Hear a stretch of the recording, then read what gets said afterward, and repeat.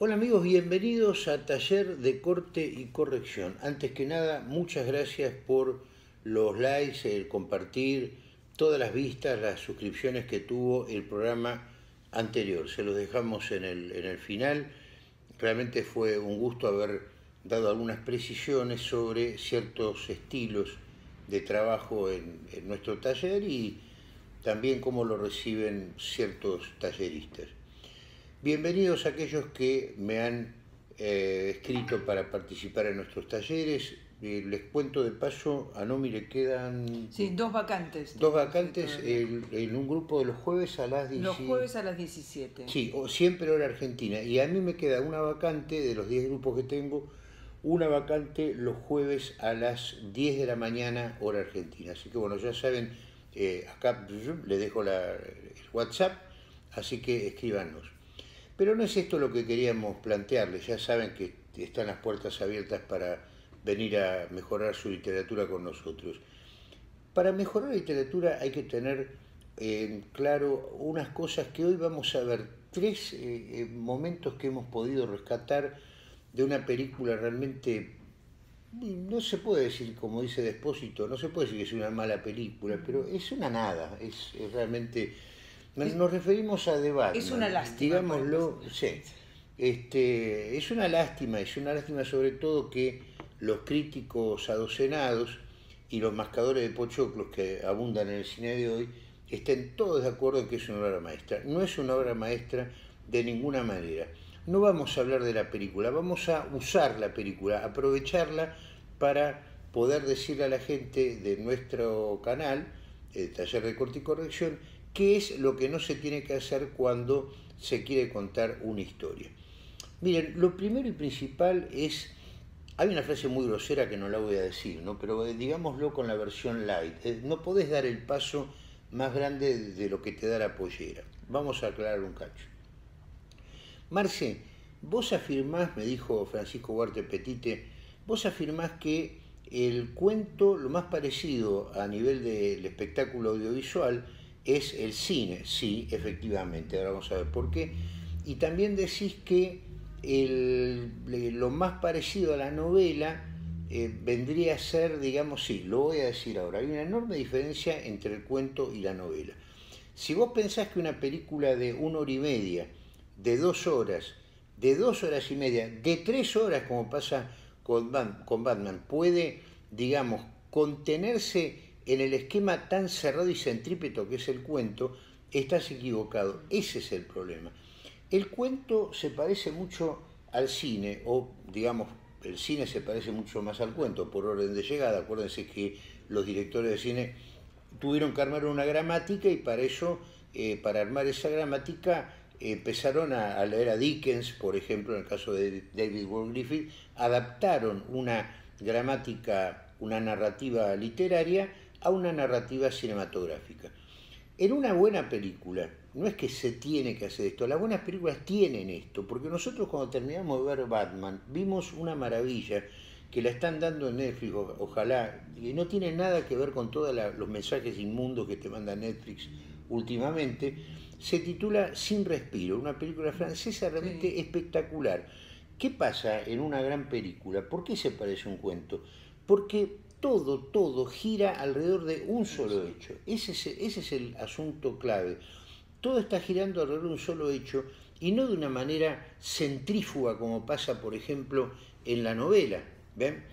¿Qué sería lo más cercano? Piensen en la novela que les guste y van a ver que pueden captar perfectamente esta especie de cruza. Lo más parecido en el mundo audiovisual a la novela, ¿qué es? La serie. Una serie formidable como Breaking Bad tiene un punto, un punto de partida. Es decir, la gran pregunta es ¿por qué hace Walter White hace todo lo que hace? Es interesante. Uno, pero claro, está siendo cruzada, bombardeada por un montón de subtramas, personajes nuevos que van apareciendo. Es lo más parecido indudablemente a una novela. El cuento no tiene tiempo. El cuento es eso, el cuento no tiene tiempo. Hay un solo hecho eh, Nico Amerio Ortiz está eh, así, sacó hace minutos, ¿no? Estamos grabando esto un viernes y sale mañana sábado. Eh, una nota sobre, una review sobre una película realmente infravalorada en los 80 que fue justamente Calle de Fuego. De Walter Hill. De Walter Claro, Hill. sí, Si no me equivoco, me parece que fui yo el que le dije, ¿no? De, de, de ver la, la- Que, creo que sí. Bueno, Creo que sí. la, la cuestión es que infravalorada porque es un peliculón, una cosa realmente sensacional, Calle de Fuego, Walter Hill, con gente que después iba a ser muy famosa, como Bill, eh, Willem Dafoe, eh, el, el Diane, ¿cómo se llama? Diane Lane, eh, Rick Moranis, eh, realmente un, un elenco que en ese momento no era muy conocido. No, eran todos muy jovencitos. Todos muy jóvenes, ¿no? Si uno ve las fotos, busquen Calle de Fuego de Willem Dafoe y van a ver las fotos. Nosotros la vimos cuando éramos jovencitos, Sí. en el año 80. Más jovencitos que ahora. Todavía un poquito más, en el año 84. 84, cuando ¿Qué? se estrenó. ¿Te acordás lo que yo, yo te dije cuando terminamos de ver la película? ¿Te acordás? Cuando terminaste de... Esta película va a ser una película de culto. Exactamente, eso, eso fueron las, las Y palabras. éramos, en el cine ese día éramos cuatro. Vos, yo y la pareja con la, con la que habíamos ido, Sí, la una- pareja de amigos con la que habíamos amiga. ido. Sí, exactamente. o sea, te- Nadie más. Nosotros ya la habíamos visto y me dijo el muchacho de la pareja, me dice, Di Marco, ¿dónde sacaste esta película? Claro, porque no tuvo bamboya, no tuvo difusión, pero esto les aseguro, salíamos del cine y yo le dije a Nomi, esto va a ser una película de culto.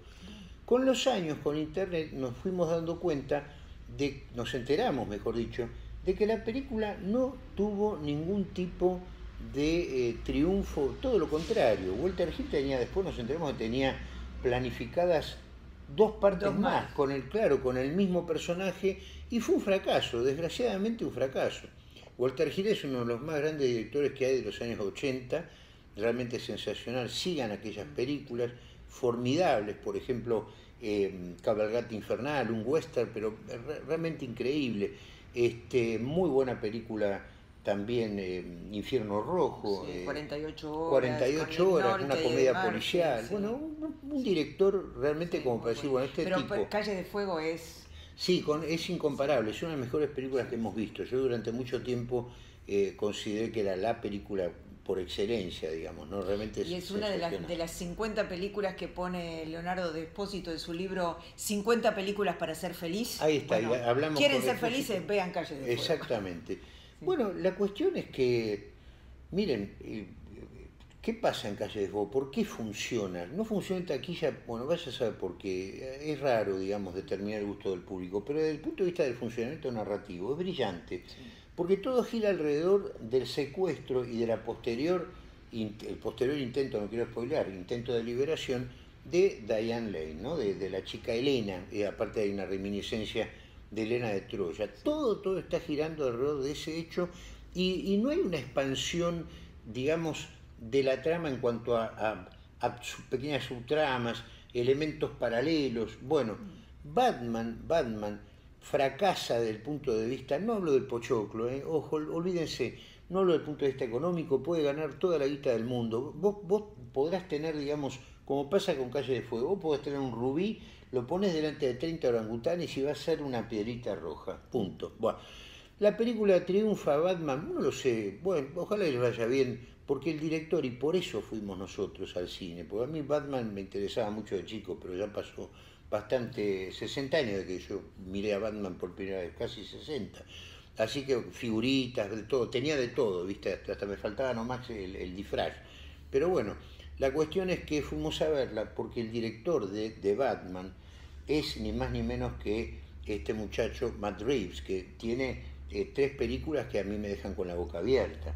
Cloverfield y las otras son las dos de las últimas que salieron del planeta de los cisnes, que son, bueno, un clima increíble, una, un- una, eh, eh, te subyuga y aparte lo que digo, está basado en un solo hecho, una sola cosa. Hay un monstruo que viene del mar, que es capaz de revolearte la cabeza de la Estatua de Libertad por la calle. Tenés que rajar a ver cómo haces para salvarte. Ya está, eso es un cuento, eso es un cuento. Ahora lo demás, cuando de repente tenés eh, toda la iconología de Batman, toda, todo, todo, como dice Despósito, el mito, vean la nota que les dejo abajo, que está realmente sensacional. Uno de los pocos críticos literarios como nosotros y como Mariano Iturri que se animan a decir que de Batman es una perfecta mierda, ¿eh? por, por todo lo que, lo que estamos viendo. Hay en The Batman una enorme, profusa cantidad de elementos absolutamente innecesarios, que van completando algo y vos decís, pero este hombre hasta dónde puede llegar. Estoy yendo excéntricamente, centrífugamente estoy yéndome del centro, del cual no debería haberme ido nunca, pongamos por caso. Batman inicia de Nolan. Y mira que Nolan es un director complicado. Lo que pasa es que acá hay un problema de guion. Entonces, por un lado, el primer lineamiento, lo que aprovechamos, lo primero que aprovechamos es el hecho de el exceso de información, la suprainformación que vos tenés, digamos, en tu obra, que de repente te obliga necesariamente a tener al espectador durante tres horas en base a explosiones, inundaciones, etcétera, etcétera.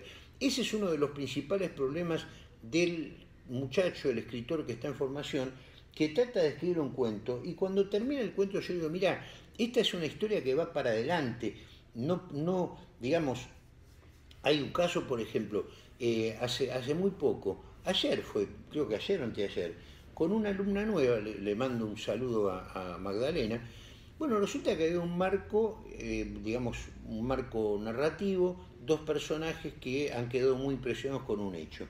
Era una idea brillante. Eh, bueno, tenía, digamos, el muñequito, digamos, un muñeco de pañolense, tenía prendido eh, una imagen de una foto, y cuando le hacían un tajo al muñeco, lo sufría el personaje de la foto. Mm. ¿Viste? Mirá qué, maravilla. Bueno, y así termina la historia. El, algo estaba pasando ahí, algo estaba faltando. Entonces yo le preguntaba a los alumnos, ¿Qué es lo que puede pasar? Y ella me decía, bueno, voy a desarrollar un poco el tema de las torturas. No, no va por ahí la cosa. Porque vos estás haciendo una tortura, después viene la otra, después de la otra. Les puse como ejemplo esas películas estúpidas de slasher de el, tipo que viene, el slasher en cuestión, que viene con un cuchillo y se mata a 20 adolescentes. Entonces vos decís, bueno, avísenme, me voy a fumar un pucho este, a la puerta del cine y avísenme cuando viene la próxima muerte, ¿no? Porque parece que la película fuera eso, un popurrí de, chicos apuñalados, y cada uno distinto, ¿no? uno uno cortan acá, otro por acá. Claro, y el espectador lo único que está esperando ahí es a ver a quién matan próximamente y de qué modo. y la verdad es que eso no es ninguna... Eso va para adelante, suma, suma, suma, suma y te no Suma nada. Eh, no, no, suma, no, suma minutos. Ah, claro. Suma minutos. Ah, eso sí. No, suma minutos y pochoclo, aparte. ¿eh? Acuérdense Vamos comiendo pochoclo mientras No, pero es que el cine está en función del pochoclo. Esto me lo explicó Mariano Iturri el otro día. Me dice, mira, es tanta la que se paga eh, de impuestos, que, que no, no, vale la pena pasar las películas.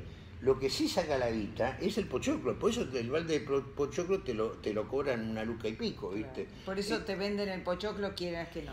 Pero nosotros estamos tratando de ver el cine, no de un punto de vista pochoclero industrial, de, de fandom, digamos, eh, sino desde un punto de vista narrativo, a ver para qué nos sirve a nosotros.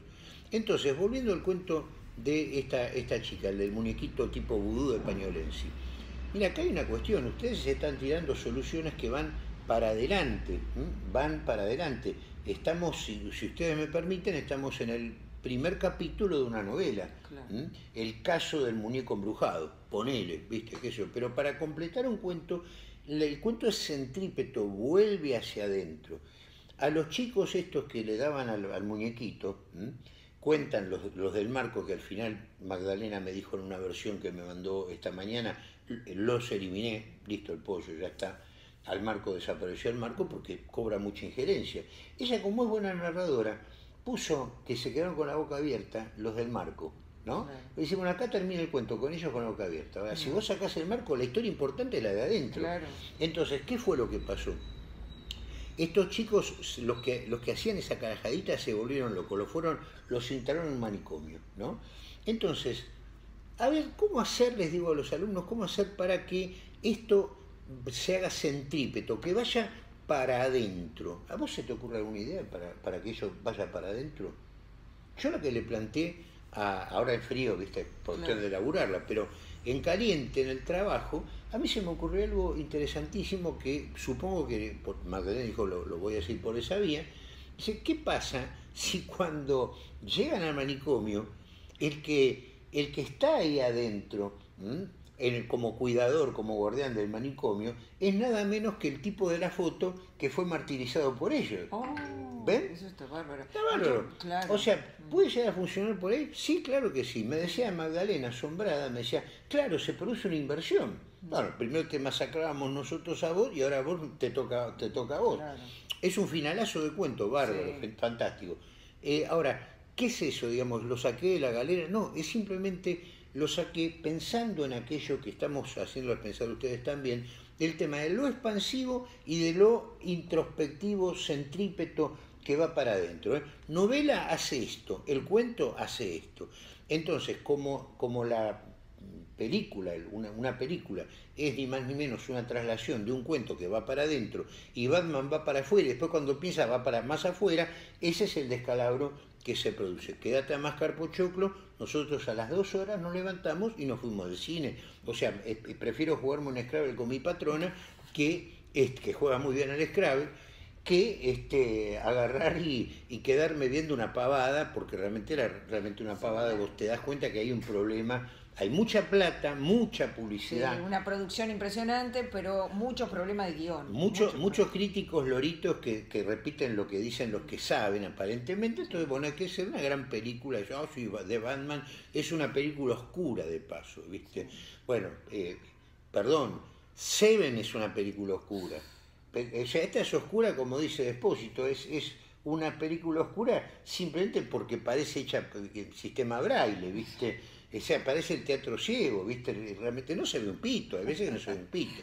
Entonces, primera cosa eso, el despropósito de contar algo que necesariamente tiene que ser breve, entre comillas, y, acá una cosa, Apocalipsis Now, perdón, Apocalipsis Now, que te dura dos horas y media, tres, también es una película breve. Sí, pero Claro, porque está basado en una sola cosa. Va un punto. Eh, va un solo punto.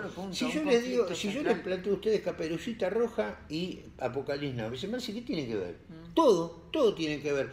Mira, agarrá estas tortitas, vos sos Caperucita Martin Sheen, bueno, agarrá estas tortitas y lleváselas a la abuelita Marlon Brando de, cruzar todo el bosque y ojo que en el medio va a estar el lobo, ¿eh? Mm. los vietnamitas. Entonces, es, desde el punto de vista de, la, de las horas de duración, porque hay incidencias, pero no son subtramas, que cosas que te obligan a ir para adelante. Eso por empezar. Para resumirlo en una sola palabra, eh, no tirarse el... No, no voy a decir eso, más, más gordo que aquello. No, dar el paso más largo que la no, Exactamente, ahí está. Contá una historia redonda, que no esté abollada por ninguna parte y que tampoco esté erizada de elementos, porque eso un cuento no va a ser nunca. A lo mejor puede ser un capítulo de una novela. Como digamos, hay varios capítulos adentro de tres horas de película, el director se embrolla y el espectador para qué, ¿no? yo pensé que, estábamos frente a un rompecabezas. Exactamente, viste, una cosa es, lo complejo, ¿eh? por ejemplo, Calle de Fuego es una película compleja, tiene de todo, y otra cosa es lo complicado, el hecho de decir, bueno, andate del cine, tanto me dijo el pibe este, Mark Reeves y compañía, porque él no tiene la culpa, es un gran director y aparte visualmente hay elementos muy peores en la película. Me estoy hablando de los guionistas, de la producción en general, de la concepción del cine que tiene esta gente. Andate, andate, andate, me fui. Nos fuimos al carajo con no milito Primera cosa entonces ya está dicha. Segunda cuestión, la cuestión de la verosimilitud. Y acá está la genia de mujer que no le deja pasar una a nadie. Es más mala que yo, en serio le digo, ¿eh? te lo juro. No deja pasar una a nadie y hace muy bien. Claro. Hay un momento, ustedes saben que, bueno, nadie sabe, nadie sabe teóricamente quién es Batman debajo de esa máscara. Hay un momento en el que Batman queda desmayado. Sí, no digamos por qué, porque la quiere ver, nosotros decimos no vayan a ver. Lo cierto es que está rodeado de gente Policía. Gente. Él está desmayado, lo llevan a otro lugar, no está en el lugar en donde había quedado desmayado. Hay que aclarar una cosa, está rodeado de policías que lo odian. Que lo odian, la policía lo odia, Batman, bueno... Batman lo odian porque es el, el, justiciero... Que ellos no son. Que ellos no son, ellos se rascan mientras Batman se rompe este, la capa este, resolviendo crímenes, etcétera, etcétera. Entonces él tiene un odio a la gran perra. Bárbaro. ¿Y entonces qué pasa? Entonces, él queda desmayado en un determinado lugar cuando, fundido a negro, cuando el fundido a negro empieza a deshacerse, digamos, se oyen voces y qué sé yo, y resulta que aparece Batman en otro lugar, no en el lugar en donde se había quedado desmayado, todo rodeado, pues la, la, policía, todo rodeado de policías que lo odian y nadie le ha sacado la máscara.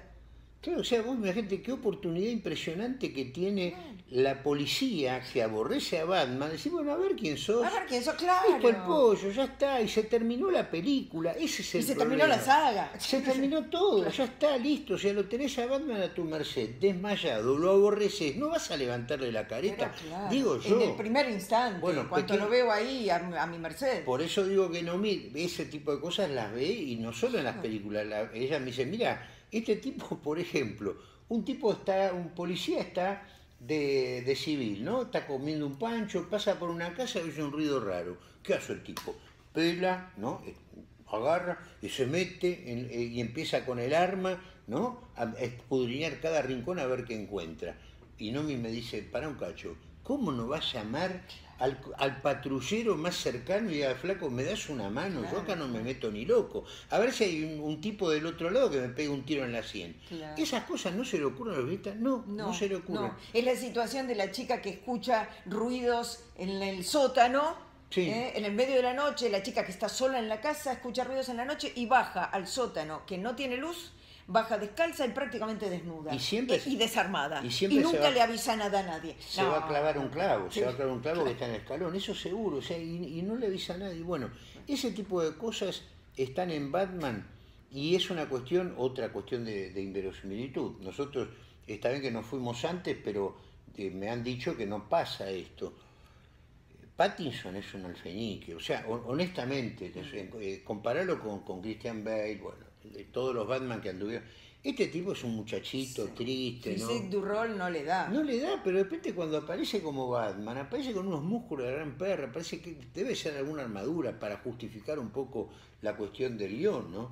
Pero sale, digamos, eh, con aptitudes muy distintas a las que pa- aparenta. Ese es el- el- uno de los problemas que tienen la, como base el tema de la inverosimilitud, que es el segundo punto que queríamos justamente destacar. Ojo con los elementos inverosímiles, ojo con los elementos inverosímiles. Hemos visto una película Get que, bueno, la cuestión, acá sí que tengo que spoilear, la cuestión es que raptan a, unos negros, los, los van raptando, les ponen, digamos, eh, a, a gente blanca, les ponen el cerebro de los negros, ¿viste? Un- una cuestión, pero eso te enteraste al final de todo.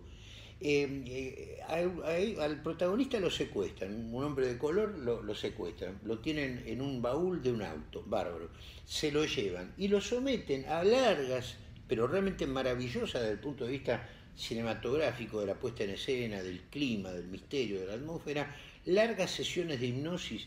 Y yo la verdad que digo, para un cacho, para un cacho, vos tenés al tipo en el baúl, ¿Le querés sacar el cerebro, cambiárselo por otro para que el otro rejuvenezca? Llévatelo de allá al quirófano, ya está. Claro. ¿Para qué vas a tener al espectador todo el tiempo? Y sí, Marce, porque si no, no hay película. Claro. Entonces no hagan la película. claro. No o hagan la pónganle película. otro, otro argumento. Ot- Otra cosa eh, tremendo, la información. ¿Te acordás que hay una, hay una puertita medio entreabierta? El tipo va a una caja, encuentra fotos que le revelan toda la verdad. Pero es una cosa tan rudimentaria. Otra, otra pavada a nivel de vos decís, pero acá hay una cosa de engrupimiento. Eh, en Batman, en The Batman, está, hay, un- hay una- un mensaje en código que dice la rata alada. Entonces se ponen a pensar, la rata alada, ¿quién será? Media ver, película pensando quién es la rata alada. Rat en inglés es un soplón, ¿ves? Por ejemplo. Entonces, claro, debe ser un soplón. Ahora, yo, cuando ustedes vieron la película, ustedes saben que murciélago viene de murciego, ¿no? O sea, un ratón ciego, un ratón con alas. Todo el mundo te dice eso. ¿Cómo no se dan cuenta, Batman siendo tan inteligente, no se da cuenta que es a él que se refiere eso? Y aparte lo ponen con una cosa tan, tan engrupida de decir, pero qué cosas inteligentes que estamos poniendo acá en la película. Miren, me hace acordar a Smart cuando se le ocurre algo, que es una pavada, el espectador sabe que es una pavada, pero él se pone pensando así y diciendo, no, sí, esto, esto, como diciendo, acá no contaban con mi astucia del, Chapulín Colorado. Es así, una película además, por eso engrupida. Y acá caemos en el tercer momento, ¿no? Mi tercer momento narrativo de, fallido, que justamente aparece mucho también en los talleres. Teníamos, por un lado, el tema de los cuentos que en realidad son novelas resumidas, por empezar. Por otro lado, digamos, el tema de la inverosimilitud de ciertos elementos que vos decís, pará, acá la lógica no, no, se da de patadas con la realidad, incluso la realidad objetiva dentro del. Dentro de su universo narrativo, claro. Y el tercer momento es el suministro de información dada a destiempo. Ese es el tema. Como bien dijo el Germán Lanfranco, otro saludo, eh, alumno que participa en, dos grupos del taller, este, nosotros estamos leyendo una novela y nos vamos enterando de cosas que en realidad tienen que decirse arriba, se tienen que decir arriba, porque si no, no se va a entender. O peor, como dijo Germán Lanfranco, te obliga a reconfigurar toda la narración que vos fuiste recibiendo. Ese es el tema. Ahí está un poco la cosa. Vamos a aclarar un poquito.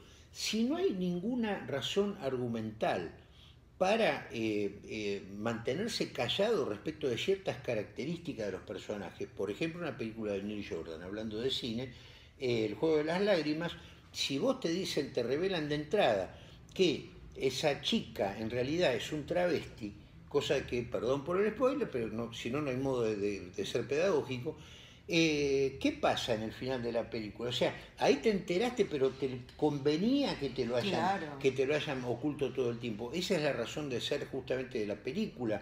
No lo revelen, digamos, yo lo estoy revelando por, una cuestión pedagógica. Ahora bien, por ejemplo, hoy estuve revisando a la mañana el comienzo de una novela sensacional de Carson McCullers, escrita en el año 1940. el corazón es un cazador solitario ¿Cómo empieza el corazón es un cazador solitario? Así, no, directamente, y confirmé lo que sospechaba. Decía, en la ciudad había dos mudos.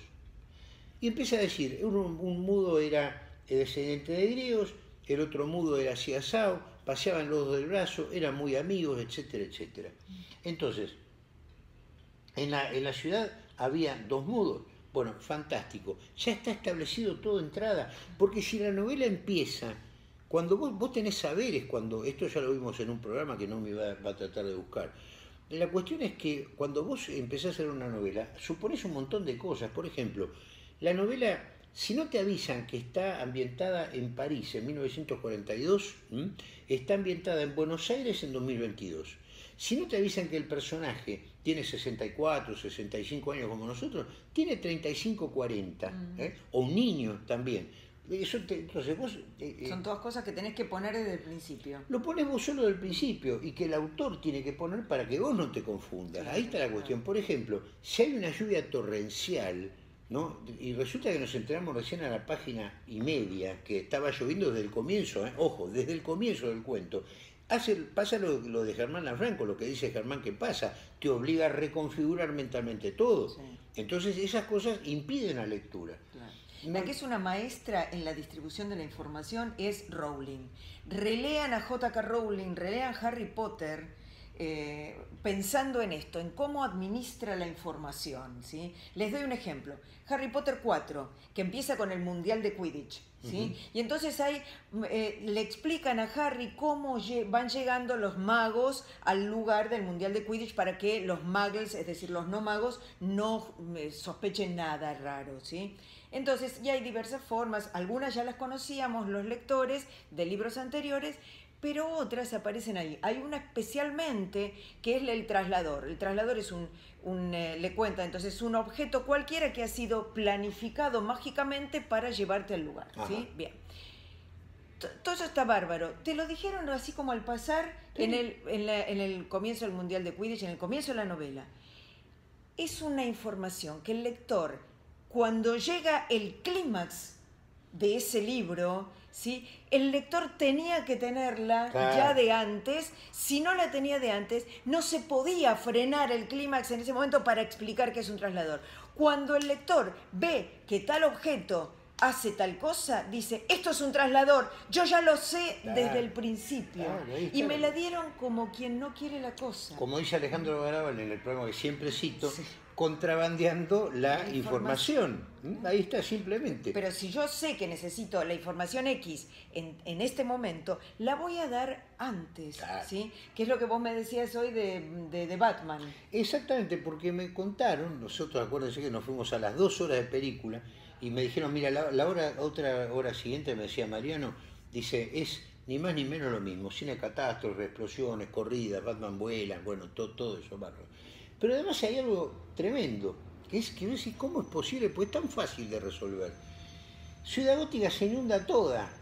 A mí me encantan esas cosas, me encantaría verlo cuando vamos a alquilar para ver por lo menos cómo se inunda Ciudad Gótica. Bárbaro, fantástico. Este, Pochoclo, ¿viste? Bárbaro. Se, se, inunda. Está bien, bárbaro, buena idea esto que el otro. Pero, ¿saben por qué se inunda? Bueno, meten unas bombas, el acertijo, etcétera, etcétera. Los, los guerrilleros terroristas salidos del acertijo de rompen el dique. Ahora, eh, en ningún momento... ¿Qué dique? Eso, nosotros, eh, me dijo Mariano Iturri, Marce, vos que estuviste dos horas, ¿viste, oíste hablar de algún dique que rodeaba la ciudad? No, no. Y eso se hubiera resuelto muy fácilmente cuando hablan los políticos, ¿viste? Ta, ta, ta, alguna referencia, alguna noticia, se encontró una fisura en tal lado, avisarle, contrabandeando la información, que tenés el dique que te está rodeando la ciudad gótica. Yo en, ese, en el mito de la ciudad gótica, la primera vez que aparece eso, ¿no? honestamente. Pero bueno, está bien, pero primero contalo antes, porque si no el lector no va a entender nada, no va a entender nada.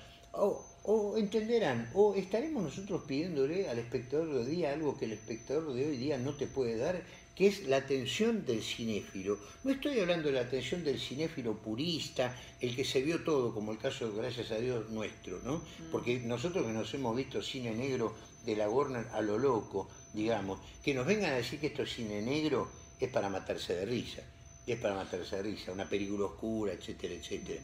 Entonces, en, resumidas cuentas, tenemos lo de no escribas un cuento que en realidad es una novela resumida. Si vos tenés temperamento de novelista, utiliza ese cuento como un primer capítulo, porque, ojo, esto lo veo en el taller, Marcelo Villafañe es un caso. Marcelo, yo dije, mira, vos tenés temperamento de novelista, Marce, se puso a escribir una novela y va, va sobre rieles, porque se siente cómodo, se siente, tenés tiempo, flaco, querés hacer un buen Batman, hacete una miniserie entonces, hacete una serie que dure cinco años como Game of Thrones, en donde puedas desarrollar hasta el último de los...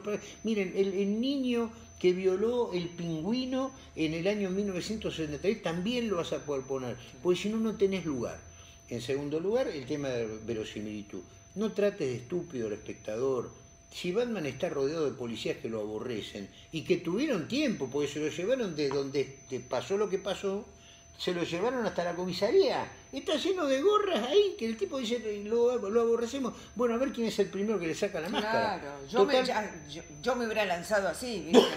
y además impunemente, porque no está desmayado y no nos ve. Esa es la otra. Cuando vamos se despierta, empieza las piñas con todo. Claro. Ahí le quieren sacar la máscara cuando se despierta. No, no, pará, pará, pará, por favor, ¿viste? Bueno, no te la creo. La y si no te la creo Suspendo todo. Suspendo todo, ya está, me levanto y me voy del cine. Adiós, hasta luego. Al margen de las cuestiones políticamente correctas que ya Hollywood ya da asco de cómo, de cómo estamos. Que llega un momento Gatúbela dice que los, eh, eh, los malos son malos porque son hombres blancos. Para un poco, para un poco. Eso al margen de lo que estamos hablando. Bueno, la cuestión es la tercera, precisamente que es el hecho de no plantear los presupuestos, los cimientos, los indicios para que la literatura sea, como dice Edipache, que la literatura sea. Fantástico. Esas son las tres cosas que queríamos contarles hoy. Espero que lo vengan muy bien. Em, mi, recomendación es la siguiente, no escriban pensando, ay, no tengo miedo, porque posiblemente, no, como le pasó a Marcelo Villafañe, te, te enteraste de que eras novelista porque trataste de escribir un cuento. Entonces ustedes escriban lo que quieran. Después en el taller se verá para qué sirve eso que han escrito. Bueno, ayer pasó otro con, un este con un excelente, pero, pero una, escritura de la gran perra, ¿viste? Em, el, nuevo, Barceló. Mm, Carlos Pagán Barceló. Carlos Pagán Barceló, español. un saludo también. Un saludito para, para Carlos. Le encantó lo que le dijimos. Eh, hay, una, toda una, especie de primer capítulo de la novela. Yo dije, mira, para que cierre como cuento tenés que hacer esto, pero también toda la escena de la batalla, achicala, porque si no, ya para cuento es muy larga toda la incidencia hazañosa bélica. Tiene que ir un poco, si encontrás un buen final, eh, juntos encontramos un buen final, bueno, seguí por ese rumbo. Y si no, bueno, que sea el primer capítulo de una novela. Conste que él me había dicho de entrada, me dice, mira, yo tengo ese tema, me cuesta, ¿a quién no le cuesta cerrar los cuentos? ¿no? Y esa es la otra. ¿A quién no le cuesta cerrar los cuentos? Pero para saber todo esto, miren, para que Carlos pueda hacer un autodiagnóstico o para poder aplicar lo que estamos viendo en, esta, en este programa, hay que leer mucho, muchachos. Esa es la, la clave de la cuestión. Ver cómo lo hicieron los gigantes sobre los cuales, sobre cuyos hombros nosotros estamos apoyados. Ah, eh, sigan ese consejo. Todo lo que puedan leer de Jack London, de Edgar Allan Poe, de Anton Chekhov, de Horacio Quiroga, de Jorge Luis Borges, de Stephen King, excelente cuentista también, mm. además de novelista. Las cabezas de novelista y del cuentista son distintas. No puedes escribir una novela resumida. No puedes ser inverosímil cuando estás planteando cosas claras, lógicas para un, un espectador medianamente inteligente. Y en tercer lugar, no saques conejos de la galera porque eso de la, de la destrucción de la inundación de Ciudad Gótica es algo que da la impresión de que se le ocurrió al guionista del momento. Marce, ¿es malo que se te ocurran cosas del momento? No, no. Lo que es malo, que el espectador se dé cuenta, que el lector se dé cuenta que se te ocurrió ese momento. Tenés que ir atrás para plantear esas cuestiones. Si un tipo le encaja un, un bollo a la mujer sin ninguna razón, pero sin absolutamente ninguna razón, tenés que poner algún rasgo psicopático previo, porque si no es demasiado brusco, no se va a entender, no se va a entender. Y estamos en un mundo en donde se entienden muy pocas cosas, pero eso tenemos que ser los artistas consecuentes con la verdad, con la realidad, ir, digamos, hacia un lenguaje, como decíamos en el programa anterior, de comunicación directa con el espectador, que entienda lo que queremos decir. Después, la interpretación es otra cosa, corre por cuenta de terceros. ¿No me interesa algo para agregar? No, no, no, está todo perfecto, todo cerradito, monito. Bueno, perfecto. Muchachos, sigan entonces con Canal Taller de Corte y Corrección, vengan a trabajar al taller, les dejamos nuevamente, les dejamos nuestro WhatsApp. Nomi, tenés, eh, repetimos un Sí, tengo dos vacantes. Dos vacantes en, el grupo de los jueves, a, las 17 y a las 5 de la tarde en Argentina y yo a las 10 de la mañana tengo, me quedó un, una vacante. ¿eh? Así que aprovechen. Hasta pronto.